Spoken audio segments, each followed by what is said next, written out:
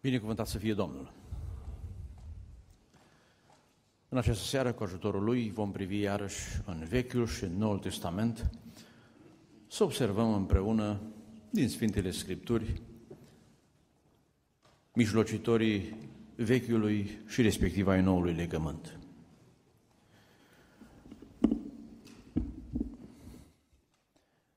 Așa cum s-a spus și până acum, în dorința lui Dumnezeu de a recupera omul, a luat legătura cu el, însă aceasta nu s-a putut face direct, pentru că Dumnezeu este sfânt și trăiește într-o altă condiție decât noi, muritorii, și diferența nu este numai de ordin fizic, și de ordin spiritual. El nu poate să accepte răul.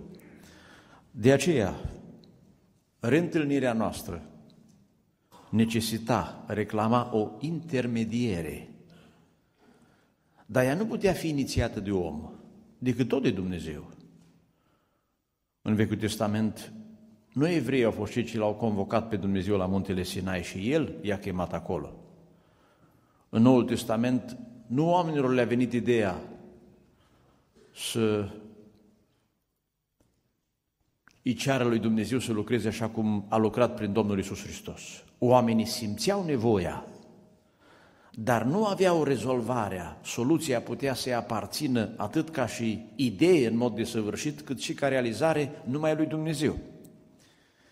Iată, poate unul dintre cei mai ilustri oameni și mai temători de Dumnezeu, Iov, din Vechiul Testament, care a trăit înainte ambelor legământe, după calculele noastre, ce spunea el, citesc din cartea sa la capitolul 9, versetul 32 și 33, cu referire la necesitatea intermedierii între Dumnezeu și oameni. Pagina 528. Zice el despre Dumnezeu căci El nu este un om ca mine ca să-i pot răspunde și să mergem împreună la judecată. Nici nu este vreun mijlocitor între noi care să-și pună mâna peste amândoi, să ne facă un serviciu deopotrivă. La rândul său, Elihu, în aceeași carte, citesc din capitolul 33, a surprins o intermediere din Vechiul Testament. Dar așa cum vom vedea, ea este insuficientă.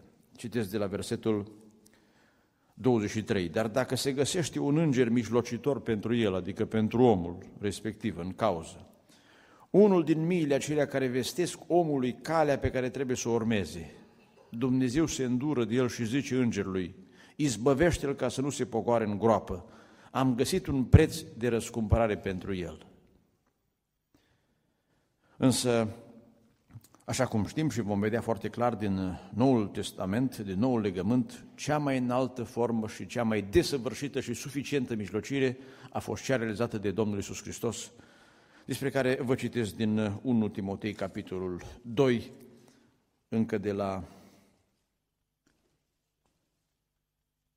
începutul lecției noastre, ca să știm că își vom uh, ajunge la culmea subiectului atingând discuția despre Domnul Isus. 1 Timotei 2, citesc de la versetul 5, căci este un singur Dumnezeu și este un singur mijlocitor între Dumnezeu și oameni, omul Isus Hristos, care s-a dat pe sine însuși ca preț de răscumpărare pentru toți. Faptul acesta trebuia adeverit la vremea cuvenită. Au făcut-o apostolii, o vom face și noi acum, ca să binecuvântăm numele Lui Dumnezeu Tatăl pentru sprijinul desăvârșit care ne l-a acordat în Domnul Isus Hristos. O mijlocire desăvârșită, despre care scrie, citesc și din Roman, capitolul 8, versetul 34, întrebând cine îi va osândi pe aleșii lui Dumnezeu. Hristos a murit, ba mai mult, El a și înviat, stă la dreapta lui Dumnezeu și mijlocește pentru noi. Slăvit să fie Domnul, amin. Având, să spunem, asigurarea că ceea ce discutăm s-a finalizat cu bine și avem uh, siguranță, să abordăm mai întâi mijlocirea sau intermedierea din Vechiul Testament. Ne vom opri pentru puțin să-i sesizăm pe îngeri în intermedierea lor și pe Moise. Îngerii, cum știți, în raportul Dumnezeu-om sau om-Dumnezeu, slujesc ambele părți. Astfel, mai întâi execută servicii pentru Dumnezeu. Tot ce se întâmplă în univers, execută îngerii pentru Dumnezeu. Chiar în natură, dar cu atât mai mult în raport cu omul. Dar scopul principal al îngerilor nu este doar așa să ne asigure nouă servicii și să trăim aici. Scopul slujirii lor este mântuirea. Este un serviciu special pus de Dumnezeu la îndemâna noastră. Iată ce citim în Evrei, capitolul 1, versetul 14.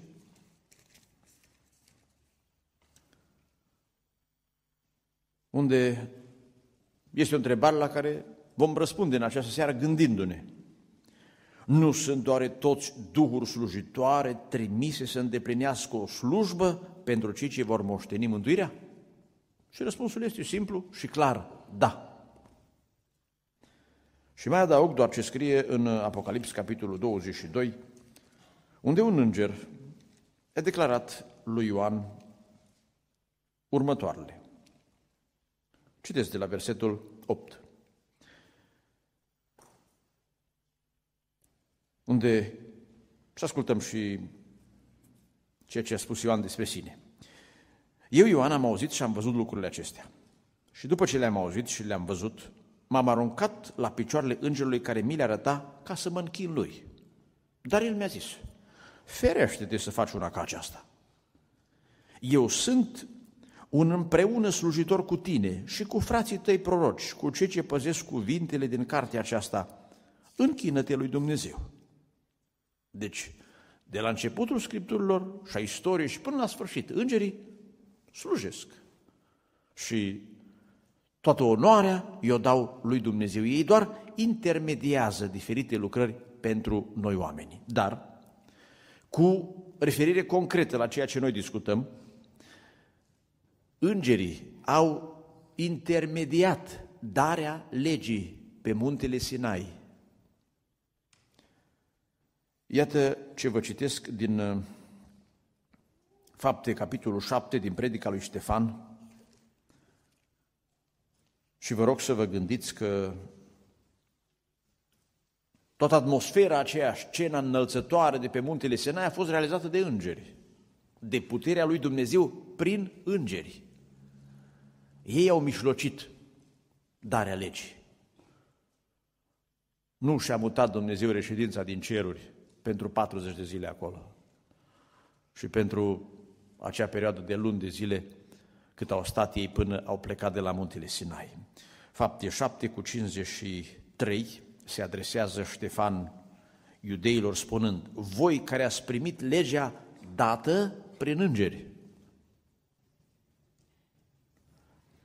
Același înțeles că cei care erau prezenți pe muntele Sinai erau îngeri, l-au avut și alți scriitori și cercetători ai Vechiului Testament, să-l ascultăm și pe Apostolul Pavel, care a scris în Galaten, capitolul 3, versetul 19,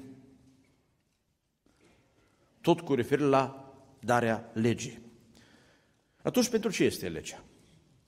Ea a fost adăugată din pricina călcărilor de lege până când avea să vină sămânța, adică Domnul Iisus, căruia se făcusese făcută făgăduința. Și legea, deci, a fost dată prin îngeri, prin mâna unui mijlocitor. Deci nu se putea întâlni omul cu Dumnezeu. Trebuia să vină un intermediar. Și aceștia au fost îngerii. Ei au uh, rostit de-a lungul Vechiului și chiar a Noului Testament multe cuvinte din partea lui Dumnezeu, adresându-se oamenilor. Și mai adaug Evrei, capitolul 2, versetul 2, Întărind ideea aceasta, Evrei 2 cu 2, căci dacă cuvântul vestit prin îngeri s-a dovedit nezguduit și dacă orice abatere și orice neascultare și-a primit o dreaptă răsplătire. Acum poate întreabă cineva, da, dar în Vechiul Testament scrie că Dumnezeu a zis. Dacă citim uh, narațiunea, istoria din Exod, ni se pare că acolo a fost Domnul și în Noul Testament scrie că au fost îngeri. A fost un înger special al Domnului, însoțit de mulți alți îngeri. De cum au ieșit evrei din Egipt, au fost preluați de un înger, de o căpetenie de o rang înalt, însoțiți de mulți alți îngeri,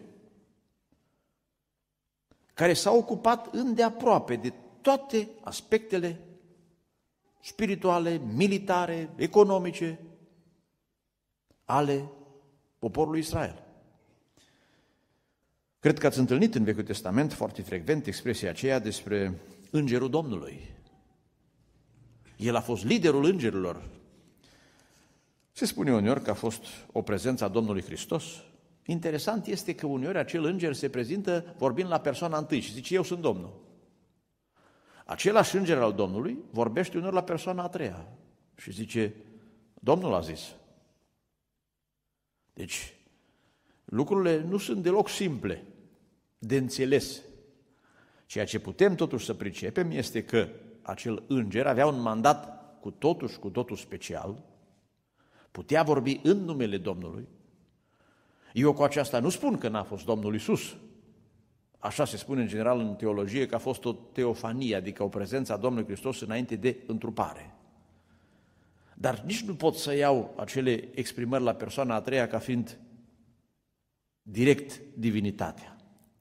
Pentru că au fost situații și vă citesc doar o referință, Cartea Exod,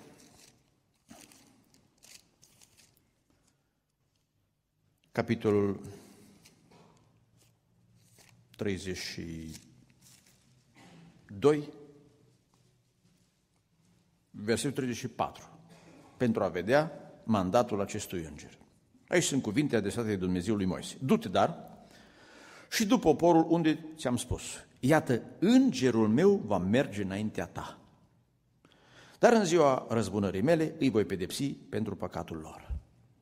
Oricum, nu intrăm în detalii de altă natură, vă rog să rețineți această idee, să ne fie clar, Dumnezeu s-a folosit de îngeri pentru că nu putea să ia legătura direct cu oamenii. Ei au făcut acest serviciu transmițând legea și toate celelalte învățături pe care Dumnezeu le-a avut pentru poporul său. Un alt mijlocitor special a fost Moise. El este unic în toată istoria. A fost singurul om care a putut să ia legea din mâna îngerilor, căruia Dumnezeu i-a vorbit direct. Nici Aron, nici vreun altul n-a mai putut să facă slujba asta de intermediere. Amintiți-vă, de exemplu, de profetul Daniel, care atunci când primea câte un mesaj din partea îngerilor, cădea la pământ, rămânea fără vlagă. Pe când Moise rămânea pe munte în toate facultățile mentale, zile în șir, a fost calificat de Dumnezeu, întărit cu un duh, cu o măsură specială, ca să poată fi acceptat în apropierea lui Dumnezeu și el să aducă apoi mesajul către popor. Haideți să observăm uh, calificarea sa încă de la începutul chemării sale din Exod, capitolul 3. O Dumnezeu i s-a arătat, l-a primit în fața îngerului Domnului, cum scrie aici în versetul 2, și apoi citesc doar versetul 10, unde Domnul zice, acum vino, eu te voi trimite la faraon și voi scoate din Egipt pe poporul meu, pe copiii lui Israel. Și ascultați acum din capitolul 7 ce calitate și ce statut a avut Moise ca mijlocitor, ca și om al lui Dumnezeu. 7 cu 1. Domnul a zis lui Moise, iată că te fac Dumnezeu pentru faraon. Deci i-a dat puteri de zeitate, cum înțelegeau ei atunci. Iar fratele tău Aron va fi prorocul tău. Citeți și din număr 12 ca să vedeți unicitatea lui Moise.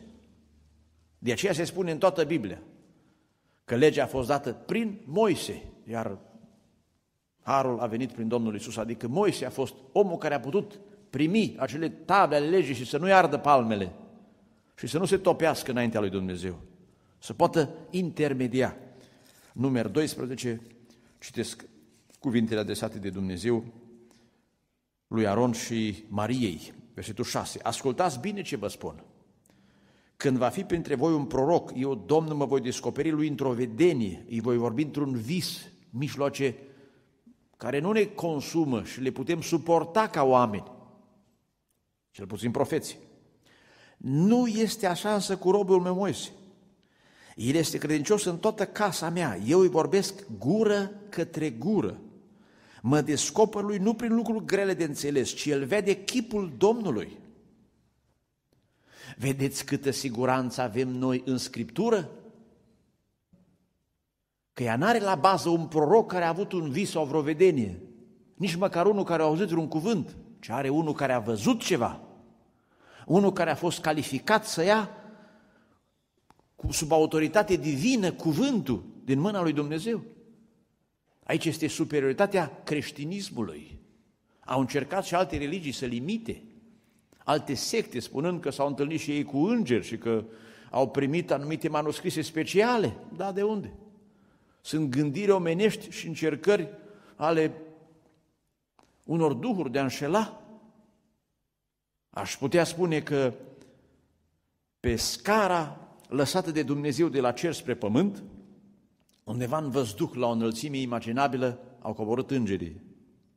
Iar dintre muritori, Moise a fost acceptat mai sus ca toți pe scară să primească, aș spune, din mână în mână mesajul de la Dumnezeu, în dorința celui preanalt de a lua legătura cu omul. Iată ce scrie apoi despre Moise în capitolul 34 al cărții Deuteronom, la finalul vieții lui, întărind această idee, citesc de la versetul 10. În Israel nu s-a mai ridicat proroc ca Moise. Nu mai era nevoie de altul. Dumnezeu o dat, o dat legea, atât. Pe care Domnul să-l fi cunoscut față în față. Niciunul nu poate fi pus alături de el în ce privește toate semnele și minunile pe care l-a trimis Dumnezeu să le facă în țara Egiptului, împotriva lui Faraon, împotriva supușilor lui și împotriva întregii țări. Și în ce privește toate semnele înfricoșătoare pe care le-a făcut Moise cu mână tare înaintea întregului Israel. Și a făcut Moise atât ca și prezentare, cât și ca semne, numai Domnul Hristos l-a trecut. În rest, nu s-a mai ridicat altul ca și el. Numai el a zis cu privire la Domnul că va ridica Domnul un alt proroc, zice el, ca mine. Adică unul care să primească de la Dumnezeu ceva și să transmită tuturor celorlalți. Acum uh, facem aici o mică paranteză ca să știți ce simte omul care ajunge la altitudinea lui Moise. Știți ce își dorea el? Doamne, vreau să te văd. Deci cu cât urci scările spre Dumnezeu, spre divinitate, setea de divinitate, dorința de sfințire, de aprofundare este cu atât mai mare. Dar și lui, la nivelul lui, nu i-a fost îngăduit să-L vadă pe Dumnezeu, studiați Exod 33, decât pe la spate. Fața n-a putut să o vadă. De aceea a rămas scris în Noul Testament că singurul care l-a văzut cu adevărat, am spune la față, a fost Domnul Isus. Deci Moise a fost unul care l-a văzut pe Dumnezeu pe la spate și ne-a spus că există și ce vrea. A venit Domnul văzându-l în față și venind la noi în lumea aceasta. Iată ce este scris în Cartea Evrei, la capitolul 3, despre realizările lui Moise ca și mijlocitor. Evrei, capitolul 3, citesc versetele 2 și 5.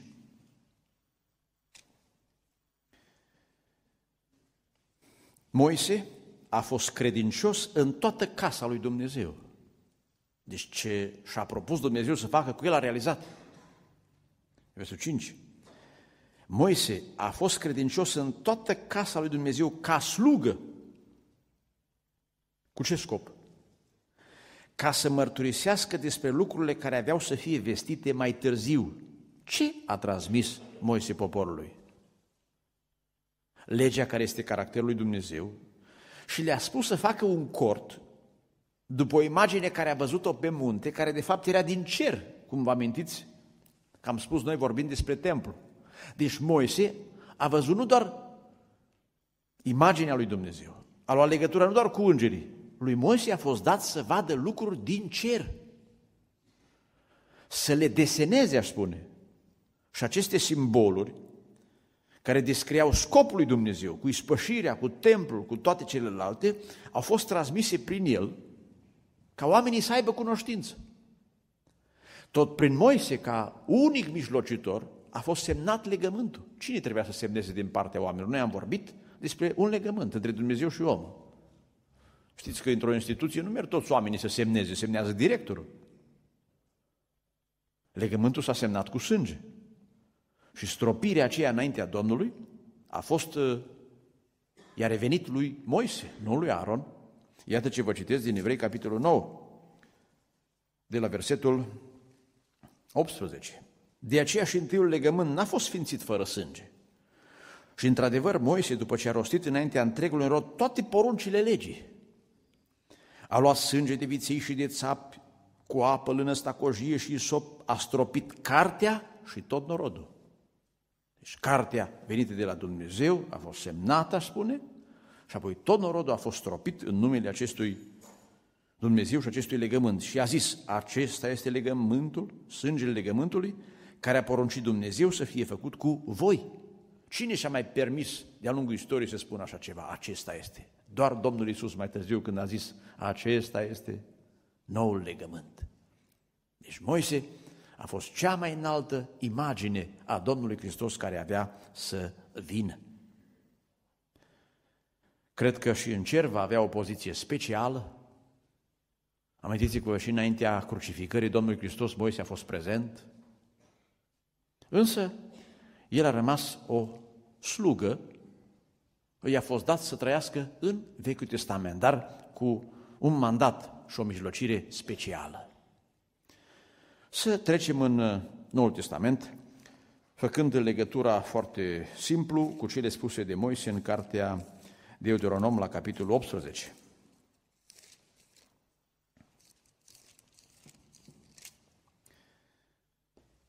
Iată ce este scris aici, de la versetul 15 la pagina 213. Moise a zis către Israel, Domnul Dumnezeu tău îți va ridica din mijlocul tău, că Domnul s-a născut dintre oameni, deși venea din cer dintre frații tăi un proroc ca mine, deci cu același mandat de intermediere, care să vorbească din partea lui Dumnezeu, să ascultați de el. Apoi, versetul 18. Le voi ridica din mijlocul fraților un proroc ca tine, voi pune cuvintele mele în gura lui și el le va spune tot ce îi voi porunci eu. Noi deja avem prin Domnul Hristos acest mesaj clar și divin venit de la Dumnezeu.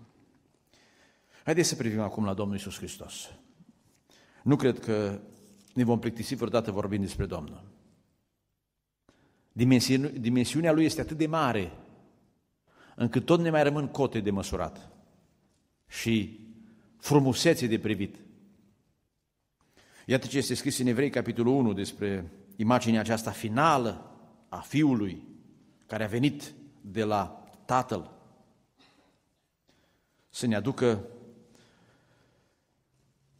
două idei vreau să rețineți de la Domnul Hristos. El a fost ca mijlocitor, aducându-ne noua lege, adică adevărul. Cine putea să spună ce vrea Dumnezeu, ce dorește, ce are în plan, decât unul venit de la Dumnezeu? În Evrei 1 este scris de la versetul 1, după ce a vorbit în vechime părinților noștri prin proroci, în multe rânduri și multe chipuri, Dumnezeu la sfârșitul acestor zile ne-a vorbit prin Fiul. Deci mijlocirea Lui este a unuia care vorbește. Prea puțin spus că a fost purtătorul de cuvânt al lui Dumnezeu. A fost trimis direct ca mandatat, aș spune, să negocieze gândindu-mă la mijlocire, mântuirea noastră, să ia legătura cu omul. De aceea, în acest capitol, în continuare, e scris că el e net superior îngerilor.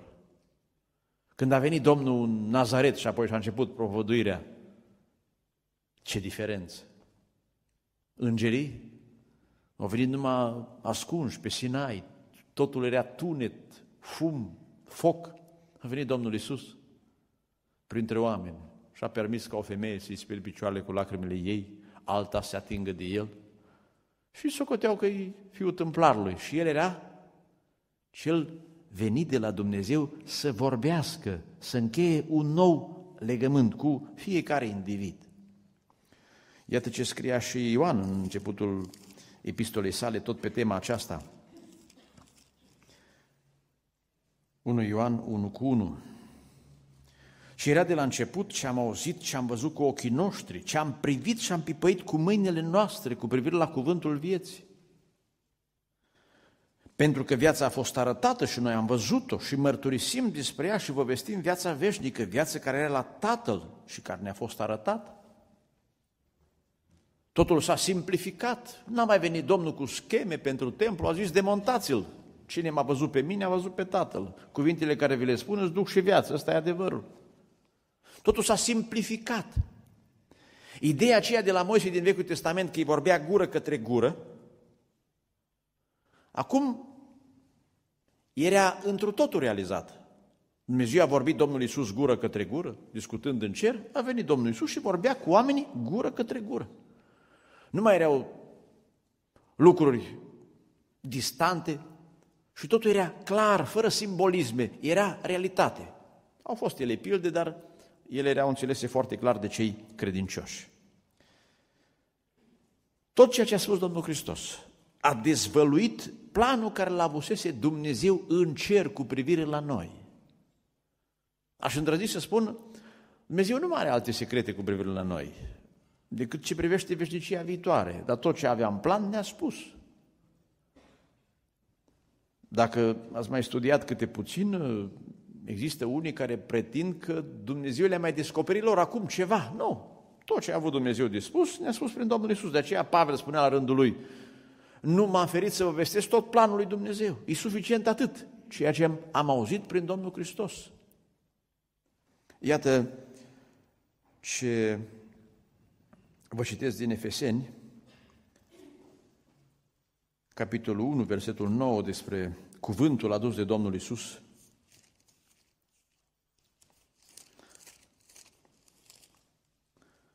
Și conținutul spuselor sale, aici este scris că cea binevoit să ne descopere taina voii sale, după planul pe care l-a alcătuise în sine însuși.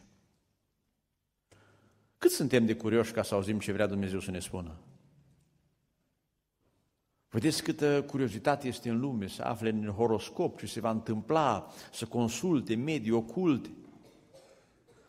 Deci dacă ar fi să avem acces la Dumnezeu, vorbim de intermediere, dacă n-ar fi nevoie de intermediere, și în seara asta să ne vorbească efectiv Dumnezeu Tatăl de pe tron, fără înger, fără niciun mijlocitor.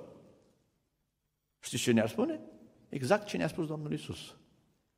Că El a zis, eu n-am vorbit nimic de la mine însumi. Tatăl m-a trimis. El a zis să vin să vă spun asta. Știți de câte ori scrie în Vechiul Testament, Domnul a vorbit lui Moise și a zis. De nenumărate ori. În Noul Testament se poate spune foarte clar, Domnul a vorbit Domnul Isus și Domnul Isus a zis. Și în Evanghelie de ori apare expresia Isus, a luat cuvântul și a zis. Isus a zis. Adevăratul Moise care a venit să ne spună foarte clar ceea ce aveam noi nevoie. Revin la Evrei 3 pentru a vedea diferența dintre mesajele celor doi. Cât de important este noul legământ față de vechiul legământ. Realitatea față de umbre. Prima transmisă prin Moise. A doua transmisă prin Domnul Isus. Evrei 3, citesc de la versetul 1. Și aici este vorba de o taină descoperită și de o chemare. Prin Moise Dumnezeu a chemat pe evrei să-i ducă în țară, știți, da? Și apoi a descoperit legea sa. Pe noi, prin Domnul, ne-a chemat să ne ducă în cer și ne-a descoperit voia sa. De aceea, Domnul Iisus Hristos a fost atât de frumos prefațat de Moise. Evrei 3 cu 1. De aceea, frați sfinți care aveți parte de chemarea cerească, atințiți-vă priviri la apostol și marele preot al mărturisirii noastre, adică la Iisus. Apostol ce înseamnă? Trimisul. Ce a zis Dumnezeu către Moise? Te trimiți să scoți poporul. Și apoi versetul 6. Dar Hristos este credincios ca fiu peste casa lui Dumnezeu și casa lui suntem noi. Dacă păstrăm până la sfârșit încrederea nezguduită și nădejdea cu care ne lăudăm, în versetele următoare, din Evrei 3 și Evrei 4, scrie despre evrei că au fost scoși prin Moise, dar n-au putut să ajungă în țară. Și suntem îndemnați noi, care am primit o chemare cerească, am fost scoși prin Domnul Isus, nu cumva să o ratăm pe drum. Cum au arătat evreii? Nu s-au încrezut în cuvintele lui Moise. Cum vom putea arăta noi? Necrezând, nerămânând statornici și neurmându-L pe Domnul. Și scrie aici mai departe că nici Moise, nici următorul după el, Iosua, nu i-a dat adevărata odihnă. Erau doar simboluri. Adevărata odihnă o primim când venim la Domnul și în perspectivă o vom privi, o vom primi pe deplin când ajungem în împărăția lui Dumnezeu. Să ne ajute Domnul să rămânem statornici și ne vom bucura pentru totdeauna cu Domnul. De aceea, vă rog, apreciați mesajul primit prin intermedierea Domnului Hristos. N-a venit cu două table, a venit cu pildele, cu învățătura sa binecuvântată și a lăsat-o la apostoli. Și Duhul Sfânt a fost cel care a avut grijă ca să rămână acest mesaj și l avem în Sfânta Carte. De asemenea, privind la Domnul Iisus Hristos, vă rog să vă reamintiți despre mijlocirea sa ispășitoare. Nu voi insista asupra acestei idei, pentru că am mai vorbit despre mijlocirea sa în ispășire când am uh, prezentat uh, preoția lui. Ceea ce este important în mijlocirea lui, că este mult mai binecuvântată, mult mai bună, mai de calitate, desăvârșită față de ce a realizat Moise, față de îngeri. El a mijlocit cu sângele său, intrând în Sfânta Sfintilor, citesc doar pe scurt, din Evrei, capitolul 9, versetul 24, uh, căci Hristos n-a intrat într-un locaș de închinare făcut de mână omenească după chipul adevăratului locaș de închinare, ci a intrat chiar în cer ca să se înfățișeze acum, și rețineți expresia, pentru noi, înaintea lui Dumnezeu. Pentru noi. ce e asta? Mijlocire. Tot evrei, 7 cu 25. De aceea și poate să mântuiască în chip desăvârșit pe cei ce se apropie de Dumnezeu, pentru că trăiește pururea ca să mijlocească pentru ei. Binecuvântat să fie Domnul pentru mijlocirea ce face. Pentru noi, așa cum suntem cu slăbiciunile noastre, ba pe deasupra scrie că e și milă de noi. Că de nu ar fi milă, ne-ar trata așa militărește sau matematic. Dar este milă, este sensibil la nevoile noastre și stă și mijlocește acolo. Binecuvântat să-i fie numele în veci de veci. Dacă cei din cer, îngerii strigă una ca asta, de ce să nu strigăm noi mai tare? Să le luăm înainte. Că le-a făcut și îngerilor servicii, dar ne-a făcut nouă din plin. Tot în Noul Testament, dar uh, nu în poziția Domnului Hristos, evident, mai avem de-a face cu mijlocirea Duhului Sfânt. Și tot acum ne mai slujesc și îngerii, dar nu în postura Domnului Hristos. Duhul Sfânt este prezent ca o energie divină care face tot ceea ce ține de necesitatea puterii lui Dumnezeu. El este trimisul lui Dumnezeu pentru intermedierea determinată de, atenție, de faptul că noi încă trăim în trup de carne și Dumnezeu e Duh. Și trebuia cineva să fie între noi.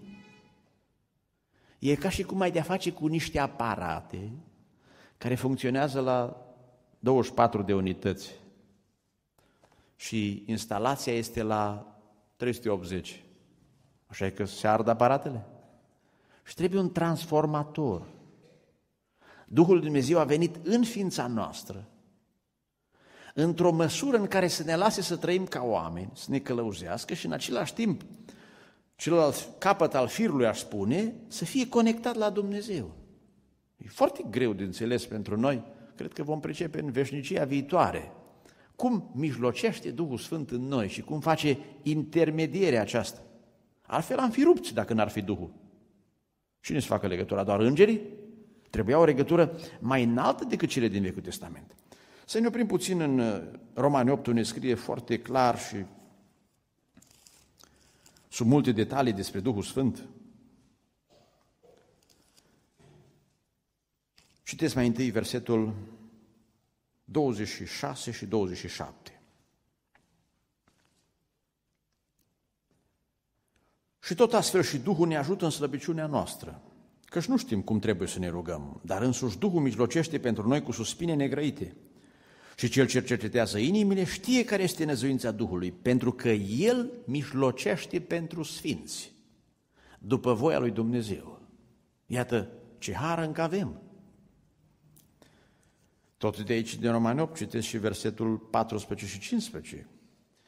Că toți ce sunt călăuziți de Duhul Dumnezeu sunt fia lui Dumnezeu. Și voi n-ați primit un duc de robie ca să mă aveți frică, să mai avem o stare ca cea de pe Sinai, ci ați primit un duc de înfiere care ne face să strigăm Ava, adică Tată. A spune, părtășia ceea ce a fost îngăduită lui Moise, să stea în prezența lui Dumnezeu pentru că peste el era o măsură puternică din Duhul Dumnezeu, ne este rezervată într-un mod asemănător nouă, ca să putem sta și noi în intimitate cu Dumnezeu. De aceea este scris în Evrei 12 că noi am avut harul acestei apropieri. Iată ce scrie în Evrei 12, la diferența asta de a, de a lua noi legătura cu Dumnezeu. 12 de la versetul 18. Voi nu v-ați apropiat de un munte de care nu se putea atinge și care le-a cuprins de foc. Să te apropii de un munte care nu-i voie să-l atingi. Dar așa era atunci. Pe când acum, versetul 22, v-ați apropiat de muntele Sionului, de cetatea Dumnezeului celui viu, Ierusalimul ceresc, de zecile de mii de adunare în sărbătoarea îngerilor. Versetul 24, de Iisus, mijlocitorul legământului celui nou. Vedeți cum ni se permite intimitatea aceasta la nivel de Duh. Și prin Duhul Sfânt, Domnul Iisus lucrează. Ne comunică adevărurile sale, cum spunea lui Cenici, urma să vă spun și alte lucruri, dar până vine Duhul Sfânt, mijlocește pentru noi. Și avem păstrată legătura cu Dumnezeu. Să nu întristăm pe Duhul Sfânt. Duhul Sfânt nu un înger care să ne lovească de cumva ne abatem, este foarte sensibil în activitatea lui, dar se poate retrage. Și dacă nu mai ne face intermedierea asta, rămânem orfani. Deci Duhul Sfânt este lăsat ca să avem părinți, aș spune, folosind expresia Domnului, ca cineva să îngrijească de noi. Prin tot ceea ce face, prin darurile sale, extinzând puțin ideea, prin uh, roadele sale ne pregătește pentru a fi cu Dumnezeu, dar noi am insistat în această seară pe relația care s-a creat între noi și Dumnezeu prin Duhul lui Dumnezeu. Doar o idee aici ca să o pătrunde mai bine. Când oamenii au același Duh, informația se transmite foarte ușor prin ei. Cum pricepem noi Scriptura? Prin Duhul Domnului. Deci iată că suntem racordați la El. Astfel ne și călăuzește și face mijlocirea aceasta pentru noi. Uneori este mai greu, aș spune. Mijlocește cu suspine negrăite. Poate este pus în postura unui părinte care are niște copii ce îl înțeleg greu și sunt mai dificile în a fi educați. Însă Duhul Sfânt se luptă Domnul Iisus mijlocește și Tatăl ne este binevoitor, mărire Domnului. Și tot în uh, Noul Testament aș vrea să vă mai arăt mijlocirile îngerilor. Ei n-au rol de mijlocire de rugăciune. Nici îngerii, nici sfinții care de altfel sunt inactivi până la înviere. Ei au numai rol să mijlocească, să ajute. Și asta e altceva. Haideți să urmărim puțin din Cartea Faptele Apostolului, să vedeți cât de implicați sunt îngerii să ne ajute. Fac și ei servicii speciale pentru biserică. Fapte 5 cu 19. Apostolii erau arestați, au fost închiși și scrie aici, la pagina 1061, dar un înger al Domnului a deschis ușile temniței noaptea, i-a scos afară și le-a zis, duceți-vă în templu și vestiți norodul toate cuvintele vieții acesteia. Îngerii n-aveau voie să predice ei. Ei doar ajutau pe predicatori. Mai departe, fapte capitolul 8, cazul cu Filip și Famenu, scrie de la versetul 26, un înger al Domnului a vorbit lui Filip și a zis, scoală-te, du-te spre miază zi. Adică, Filipe, uite, o ocazie de predică de care tu n-ai cunoștință, du-te și vestește. Tot în fapte, 10 cu 3, pe la ceasul al nouălea din zi a văzut Corneliu, lămurit într-o vedenie pe un înger al Dumnezeu, că a intrat la el și a zis, Cornelie. Corneliu s-a uitat țintă la el, s-a înfricoșat. Și a răspuns, ce este, Doamne? Și îngerul a zis, rugăciuni și milostenie tale s-au suit înainte al Dumnezeu. Cu alte cuvinte, tot eu le-am dus. Sunt repartizat pe zona aceasta. Și Dumnezeu și-a adus aminte de ele. Trimite acum niște oameni la Iope și cheamă pe Simon și Petru. El e cu lucrarea aceasta. Deci îngerii fac servicii așa cum știm. În uh, fapte 12 scrie că un alt înger l-a eliberat pe Petru din închisoare. Și ultima operație care o fac îngerii pentru noi, știți care este? Matei 24 cu 31. Va trimite pe îngerii săi cu trâmbița răsurătoare să adune și pe cei de la Betel. Ce frumos va fi atunci. Sper că o să fie pentru toți care n-au văzut îngeri până atunci, prima dată când o să vadă și eu un înger. Când vine, să ne ducă și o să spună, intermedierea s-a terminat, de acum suntem împreună. Și voi aveți acces la Dumnezeu, cum am mers noi și am venit la voi, de acum rămâneți și voi în prezența binecuvântată a Domnului. Să mulțumim lui Dumnezeu și pentru serviciul care îl fac îngerii. Ei n-acceptă nici închinare și a spune că nici în Scriptură nu găsesc vreo situație unde ar trebui să le mulțumim. Nu că n-ar fi de mulțumit, dar mă tem că dacă ne-am apucat să mulțumim, am ajuns să ne rugăm la îngeri. Și nu-i corect. Inclusiv cartea Apocalipsei a fost trimisă printr-un înger. A venit, dar nu, nu ca în Vechiul Testament. Scrie acolo, Ioan a zis, în ziua Domnului eram în Duhul. Îngerii, aș spune că au fost cu acele simboluri, cu imaginile, dar totul era într-o stare mult mai aproape de Dumnezeu. Dacă veți fi atenți acum la ceea ce voi spune în încheiere, vă promit că veți înțelege mult mai bine ce am spus în seara asta. Mijlocirea în Vechiul Testament și respectiv în Noul Testament. Deci în Vechiul Testament, legea a fost dată prin îngeri și prin Moise. Dar caracterul de lege Vechiului Testament nu permitea nicio abatere. Îngerii au spus și a zis Dumnezeu, uite aici este fișa în față. Moise le-a luat și le-a pus la popor. Iată-le aici. Când poporul nu respecta legea, Moise trebuia să execute și să dea pedepse. Aș citit undeva pe vremea lui Moise de vreo grațiere?